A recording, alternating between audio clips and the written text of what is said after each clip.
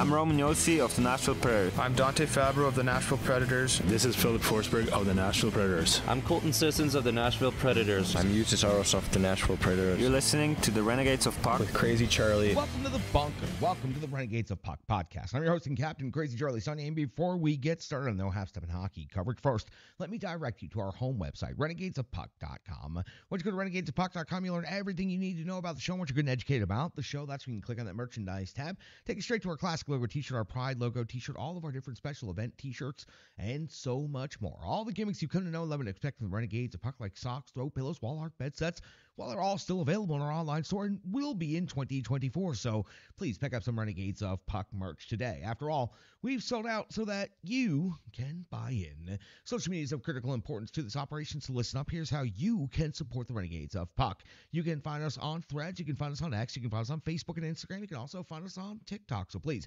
give us a like, a follow, a subscription, whatever it is. It doesn't take you but a second and also doesn't cost you a single thing to help us out on social media. YouTube, Stick Taps, Love, and Respect, all of our recent subscribers. Sure help, sure appreciate the help closing out the year 2023 in a strong way. And we look forward to picking up new subscribers in the year 2024. So again, you can find us on YouTube by just searching Renegades of Puck and please give us a subscription today and check out all the latest videos from the Renegades Puck. You can also find the audio podcast closing out the year 2023 strong over 7.3 million replays and downloads for the year 2023, going from local to global in this year, thanks to the Full Press NHL Network and the Full Press Predators podcast. We sure to appreciate everyone that's checked out the show. Thank you so much. Google, Stitcher, Spotify, Amazon, just a couple of different places you can find the Renegades of Puck podcast, or just search Renegades of Puck in your preferred platform today.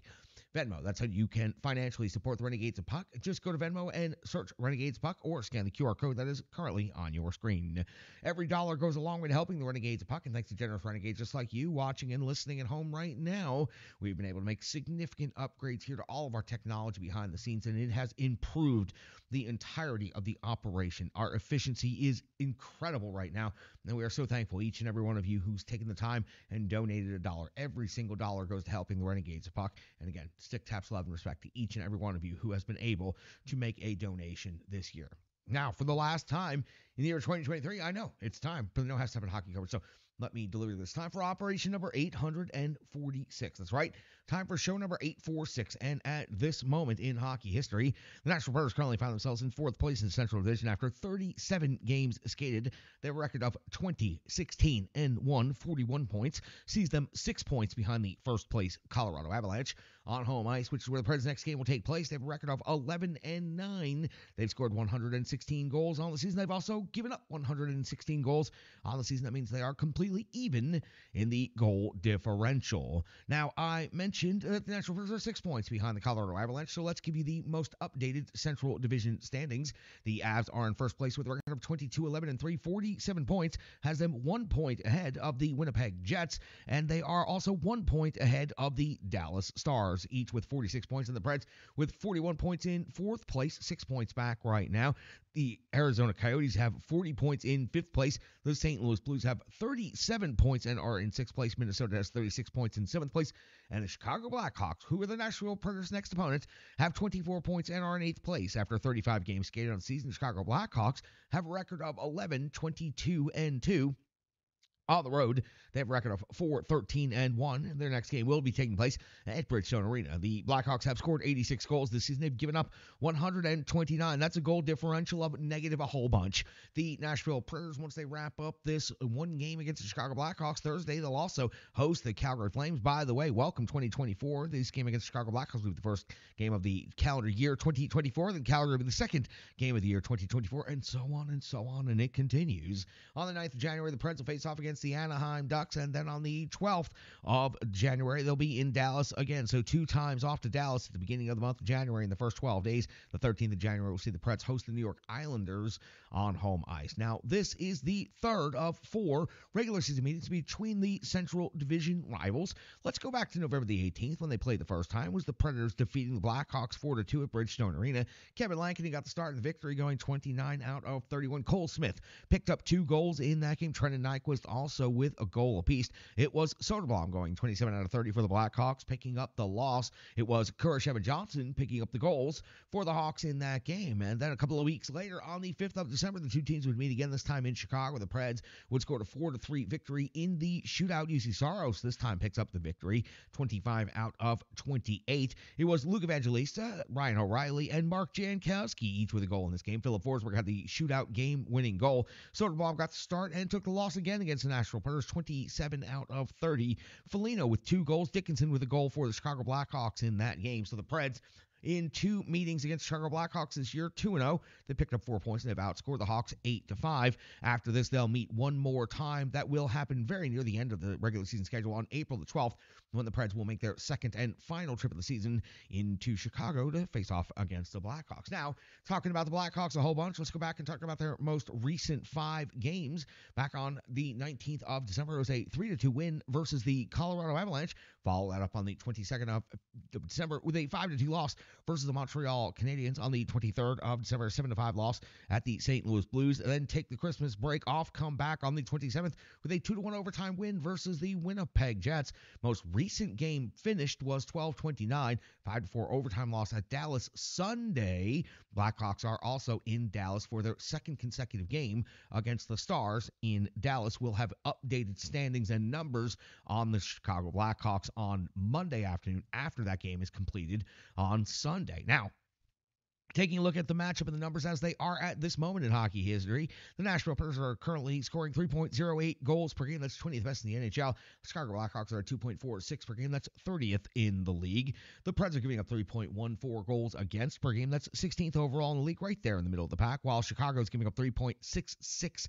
That is also 30th, second consecutive metric. That is 30th overall in the league. In the shots for category, the Preds generating 30.3 shots on goal per game. That is 20th best overall in the NHL while Chicago only generating 26.7. Yes, I say only because that's 31st, only one spot from last in the entire National Hockey League. In the shots against category, 30.6 for Nashville is 17th, and the shots against category for Chicago, 32.9. They are rated 28th overall in the NHL. When it comes to special teams, the Predators have the better of the metrics in both of these particular matchups. The power play is converting at 20.8%. That's 17th overall in the league, 27 out of 130 opportunities opportunities. The Chicago Blackhawks power play is a dreadful 12.8% conversion rate. That's 28th overall in the NHL. Only 14 conversions on the season on 109 power play opportunities. Now on the penalty kill, Preds killing off 76.9%. That's 25th. They have, though, given up 28 power play goals against, and that is a very high number. 75% is the kill rate for the Blackhawks. 27th is the ranking. 28 power play goals, the same exact number as the Nashville Predators in this one. So Chicago does not have a single statistical metric out of the six that we always talk about in the preview that is above 27th in the NHL. The Preds already being 2 0 against the Blackhawks this year. They need to take care of their business on home ice and take care of that third victory in three games and sweep the home portion of the season series against this Chicago Blackhawks team, who are currently in last place in the Central Division. Now, the individual statistics for both of these teams. Let's talk about the visiting Chicago Blackhawks. Connor Bedard, more than likely going to win the Rookie of the Year. 15 goals, 17 assists, 32 points on the season. Kurashev, 6 goals and 15 assists for 21 points.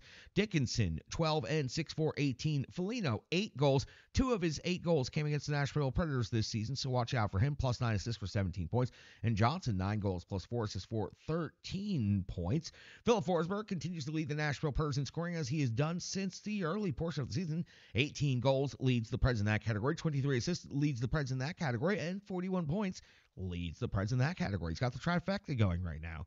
O'Reilly at 14 goals and 16 assists for 30 points. The captain Roman Josi's at 8 goals and 21 assists for 29 overall points. And Gus Nyquist, 8 goals and 19 assists for 27 points. Add Colton Sissons to round out the top five in scoring for the Predators at 11 goals and 9 assists for 20 points. Let's talk about those goaltenders and the potential matchup I wrote down Soderblom's stats because he has gotten both starts against the Nashville Predators, losing on the 18th of November in Nashville and losing on the 5th of December in Chicago. Soderblom's numbers on the year 2 11 and 1, an 870 save percentage, and a 4.15 goals against average. Wow, I bet he wishes I didn't even bother to uncover that number. Johnson uh, and so Soderblom. So looking over the Nashville Predators side of the ledger, Juuse Saros anticipated to get the start in net 15, 13, and 1 on the season, a 9 on 1 save percentage, 3.02 goals against average with one shutout on the year. But I did want to update you on Yaroslav Askarov's statistics 1 0 0 on the season. Now, the 943 save percentage 1.47 goals against average, picking up a victory in only his second ever NHL start. Second game appearing since getting called up from Milwaukee. Last game in relief for the third period, about 16 plus minutes. This game picks up the victory in the shootout. Let's go back and talk about that. I'm very excited about the National Predators Chicago Blackhawks kicking off 2024, before but that's still a couple of days away from now. So I'm really more excited about talking about Yaroslav Askarov and the performance that he had in his first start of the season, his second start of his career. It's called the Rebirth Sports Full Game Recap, and it happens immediately after this break on the Renegades of Puck podcast. Hockey players are as unique as the game itself, and your uniform should be tailored to fit you. Rebirth Sports is your sports apparel tailor. From shells, bags, warm ups, hats, hoodies, branding, and more, let Rebirth Sports be your custom hockey tailor. And don't forget to tell them they do more than just hockey. Rebirth Sports on Facebook, Twitter, and Instagram. Rebirth Sport, a match made in hockey. It's now time for the Rebirth Sports full game recap. We go all the way back to December 30th of the year 2023 when the Nashville Predators were closing out the regular season series in Washington against the Capitals and also closing out the 2023 schedule. Head coach Andrew Brunette deploys his lines in the following on the second night of back-to-backs. Forsberg, O'Reilly, and Nyquist. Sherwood back in the lineup. Parsons and Sissons are his line mates on the second line. Smith, Novak, and Evangelista on the third line. Trenin, McCarron, and Tomasino on your fourth line. Your defensive pairings are McDonagh and Josi, Lauzon and Carrier.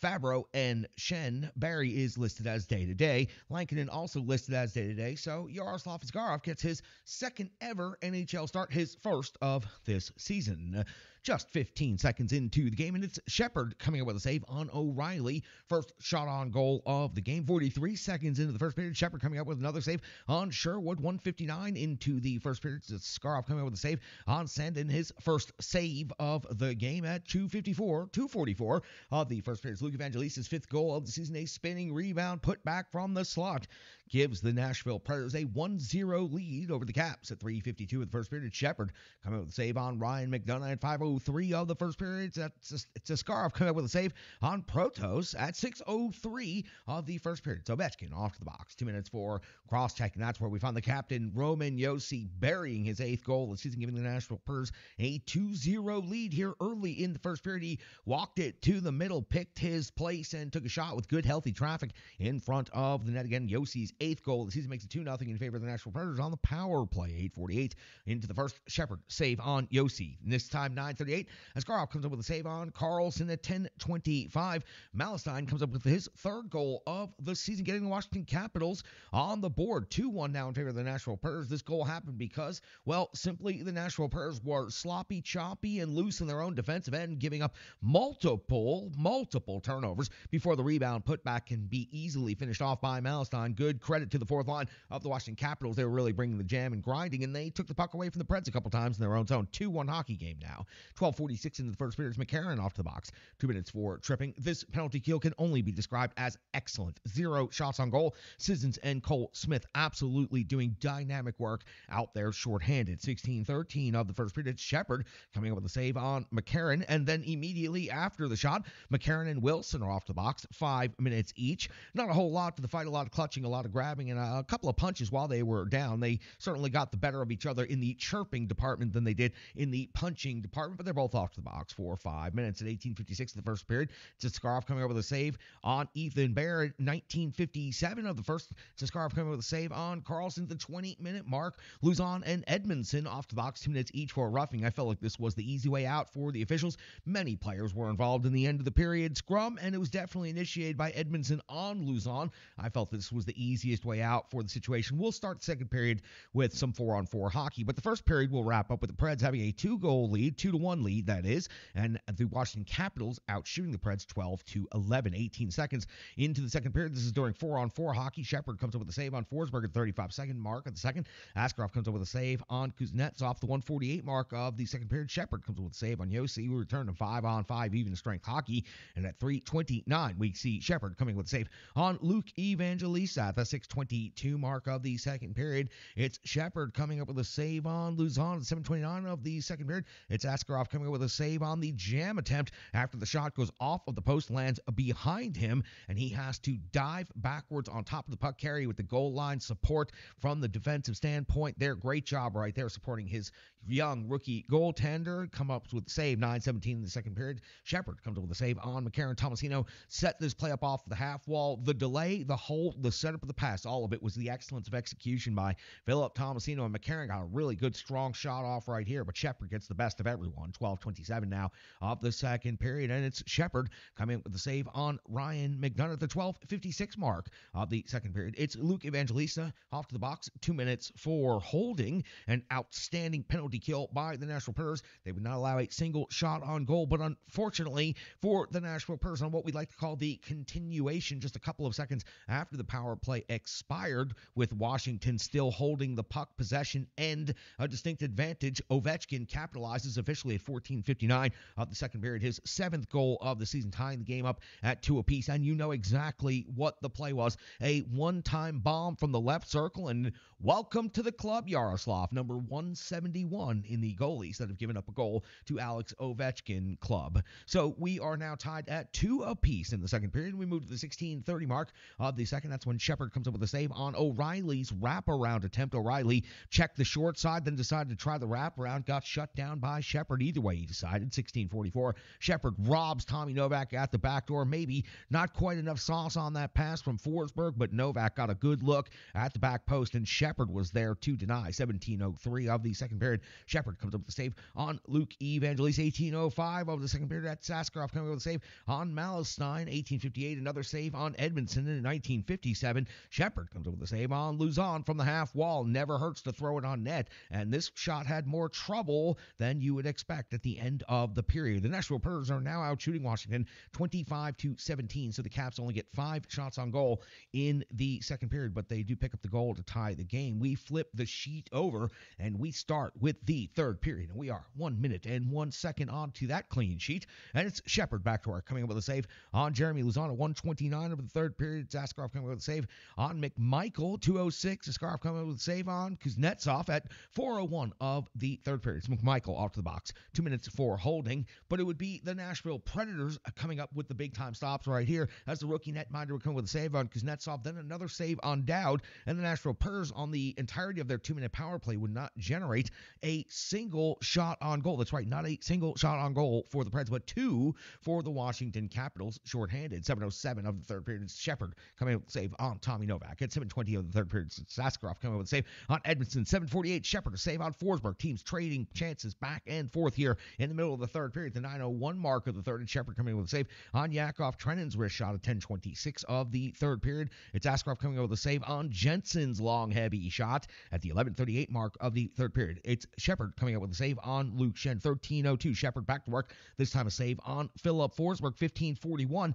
Another big time save on Yakov Trenin. Then 1632. Shepard yet another save on Filip Forsberg's redirect from close range. Now at 1859 of the third period, when it seemed like things were settling down and the teams were just going to go ahead and get a point and split this thing later on at 1859, it's Alex Ovechkin seeming to get on the board. It was on a delayed call. Ovechkin jumps off of the bench. The delayed call was going to be on Luke Schenn. Ovechkin off of the bench, able to finish off the play. This was reviewed initially, not understood what they were reviewing it for. Turns out they were reviewing it for goaltender interference. They ruled it was goaltender interference. They took the goal off of the board. So instead of it being three to two and Ovechkin having his second goal of the game, we go back to a two to two hockey game. Put 19 minutes, one minute left on the clock in the third, and Schenn in the box for two minutes. The official call is hooking, two to two hockey game.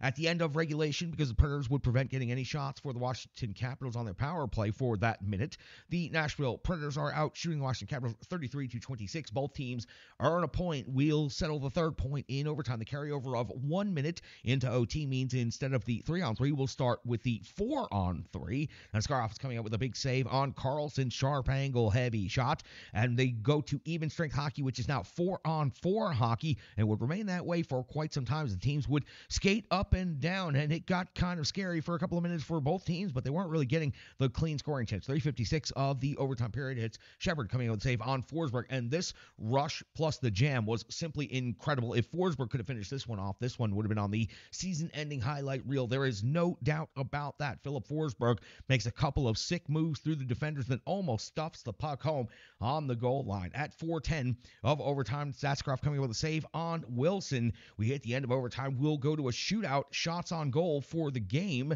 34 for Nashville, 28 for the Washington Capitals. Now, going into the shootout, the Washington Capitals are going to shoot first, and it's Kuznetsov coming in with the slowest move you've seen since Ryan Johansen. and he gets stopped by Yaroslav Askarov, and then Nyquist goes for the Nashville Predators, goes bar down, converting also with the slow and low move, picks his spot with a wrist shot, and converts, putting the Preds up 1 0 in the shootout. Ovechkin then takes the opportunity and is shut down by his countrymate. O'Reilly then finishes the shootout with the wrist shot again, beating Shepard. 2 0 is the shootout win. 3 2 is officially the win for the Nashville Predators in the shootout. Shots on goal for the game 34 28. Yaroslav Askarov gets his first ever victory in the NHL and only his second career start, and he stops two of the most famous countrymen he will ever get a chance to play against in the NHL. We've got so much more coming up on this game on the Renegades of Puck podcast. Analysis, box score, and more coming up next. Hello, hello, hello. I'm Tracy, owner operator of Strong Style Fitness. And that's me and my training assistant, Rizzo. And we are here to bring you fitness that meets you where you are by offering circuit classes, bar inspired classes, Tabata workouts, boot camps, guided stretching, and more, all taught by a certified personal trainer, me.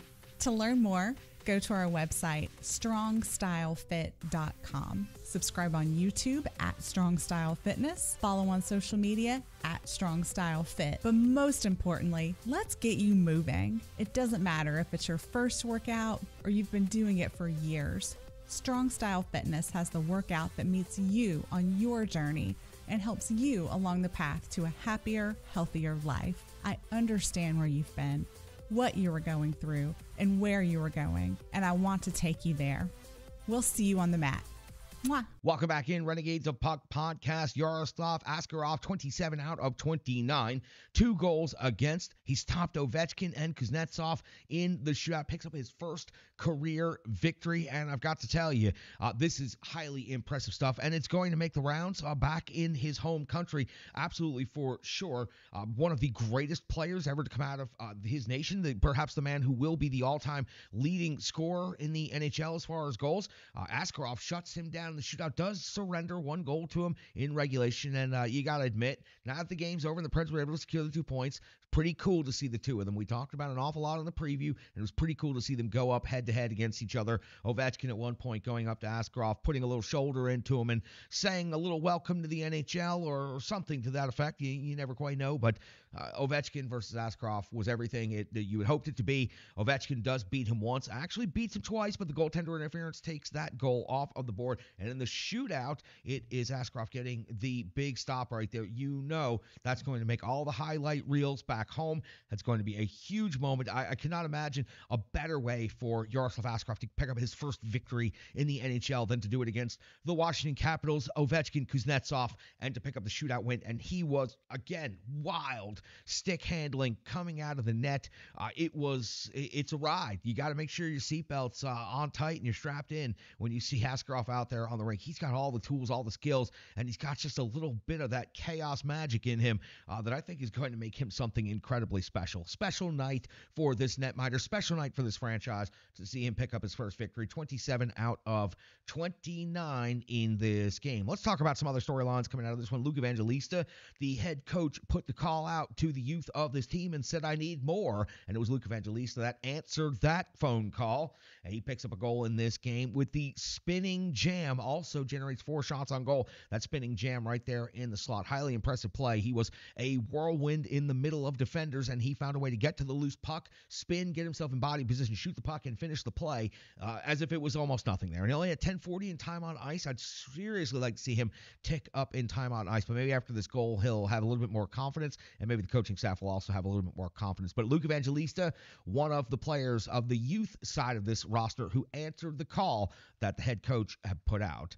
The captain, Roman Josi, picks up the other goal in this game on the power play, did what he does best, controlled the play, set it up, walked it to the middle, and took a hell of a shot right there for another goal. Three block shots in this game as well, 26 51 in total time on, on the second night Uh, of back to backs, two games in 24 hours, and both of them go to overtime. This one goes to a shootout. The captain, Josi, is there for every second of it, leading his squad to a victory, and also picked up a fight over the weekend. So the captain, Roman Josi, now at 29 points after picking up his eighth goal in this game in Washington.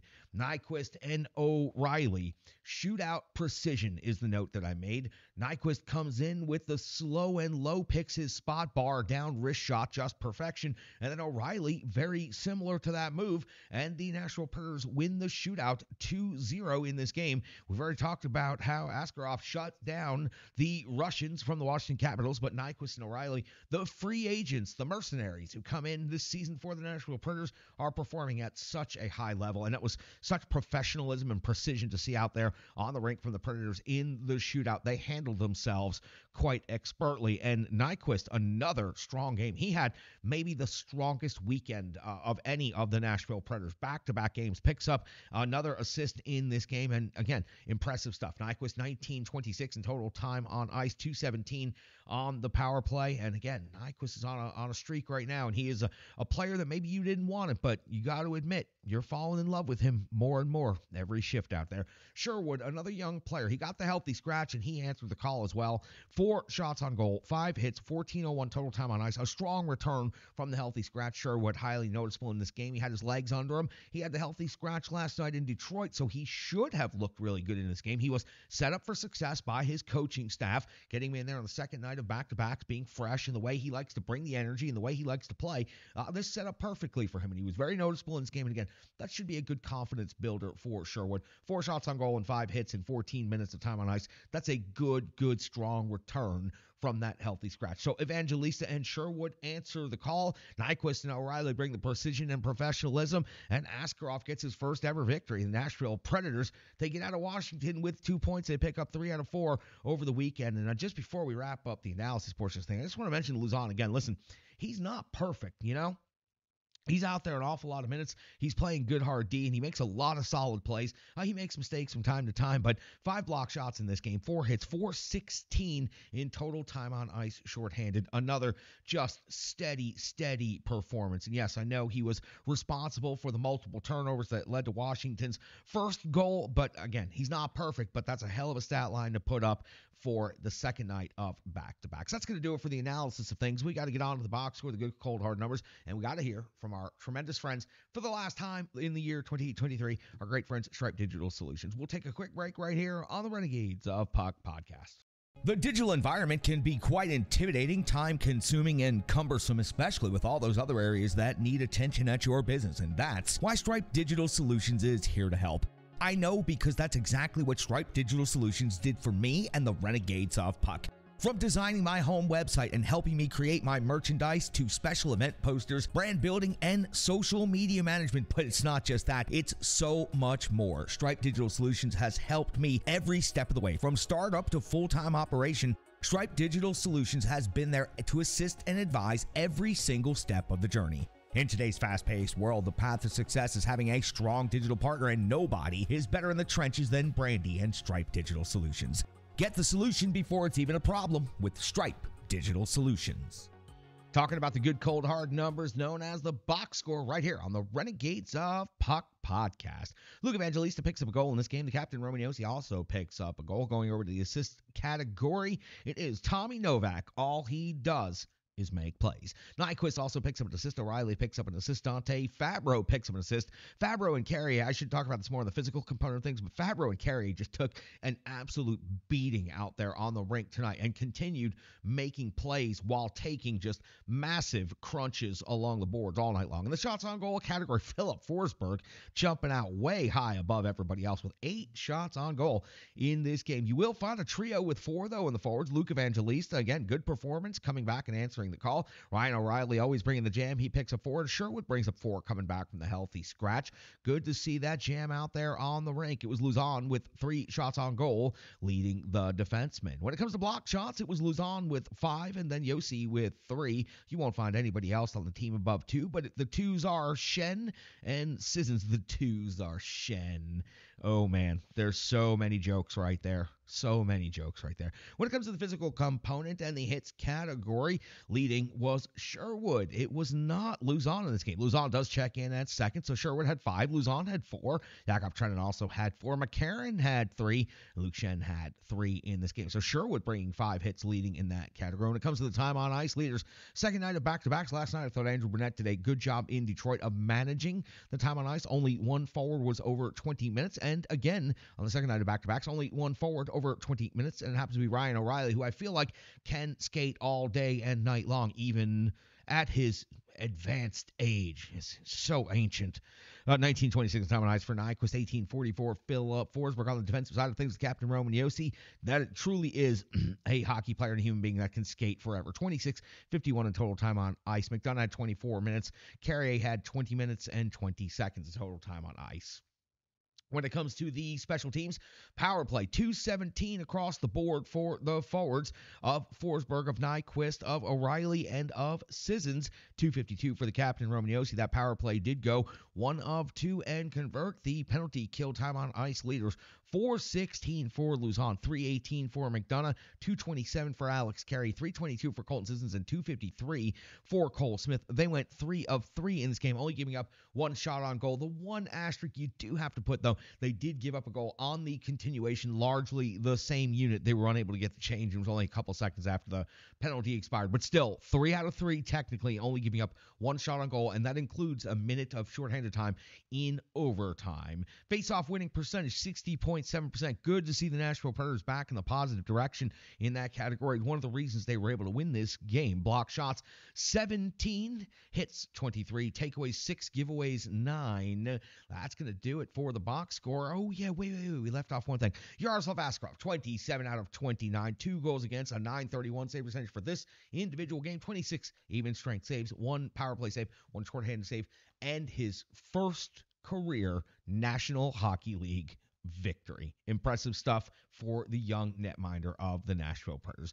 That's going to do it for the box score. Listen, let's go ahead and close this thing out. Three out of four points over the weekend. Uh, listen, the Predators could have easily picked up all four of those points, and you know what? They easily could have ended up with no points by the way they played in some of the stretches of the game. Not the best example of their best hockey over the last two games, but they found a way to get three out of the four points on the road in a back-to-back situation to close out the 2023 calendar. You got to give them the stick taps for that. They found a way, and they're moving up in the standings now back to fourth place in the Central Division, only six points behind first place Colorado. So the Preds did find a way, and they got three out of the four points, and it's exactly what they needed to do on this road trip. And again, not their best hockey, but they got 75% of the points that were available. And let's talk about quickly before we head out of the bunker the 2023 turnaround. This franchise was absolutely sliding off into irrelevance and complete non existence at the beginning of the year 2023.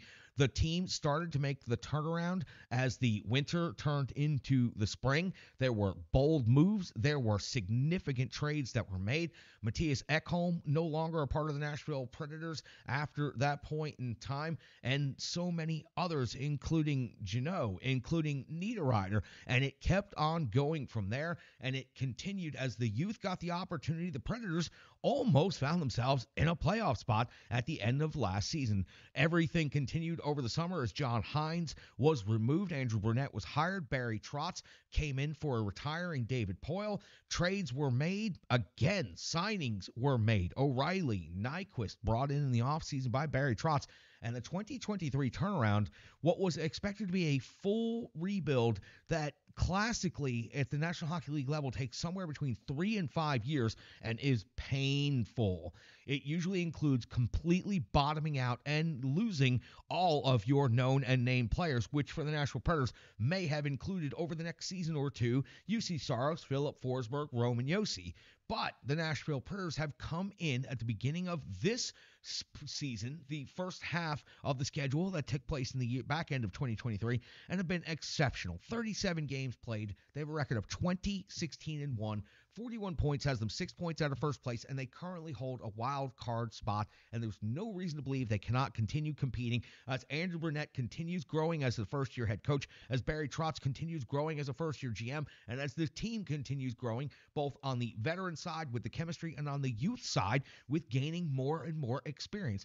Everything about the year 2023 for this Nashville Predators team has been absolutely fascinating. We will look back on this calendar year for so many years to come and talk about the storylines that emerged from this. And we'll just talk alone about the draft picks Tanner Jeannot brought for years to come, years to come that will continue to make this team better. So the Nashville Predators in 2023 went from absolutely bottoming out, deciding it was time for the rebuild, and now in less than half a season, they're already competitive and holding a playoff spot. I can't wait to cover the second half of this season. Being on this beat is so fascinating. It was so consistently stagnant for about five years, and now it is unique and interesting in every way, almost every day. Today, I got to cover an NHL prospect getting his first ever victory at the NHL level, and I get to continuously see interesting, unique young players and one of the best in the NHL in Filip Forsberg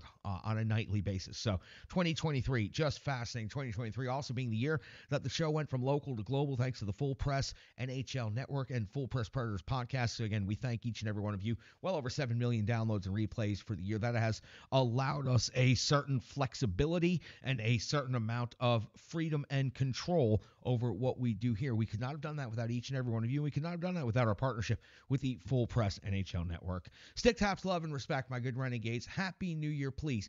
Be safe, stay healthy, stay out of trouble on New Year's Eve. Go have fun, but make sure you don't drive. Make sure uh, you don't drink and drive. Make sure if you do go out and drink, make sure you have a safe ride home. Make sure you grab an Uber, grab a cab, get a hotel, do whatever you got to do. Make sure you're safe, make sure you're ready. Predators are back on the ice on Tuesday night. We'll be back in the bunker on Monday to check up on each and every one of you, give you the most updated standings on New Year's Day as a lot of people are going to start to roll back in. I'm your host and captain, Crazy Charlie Saunier. Happy New Year, Renegades. 2023 was awesome. 2024 going to be even better with even more no half stepping.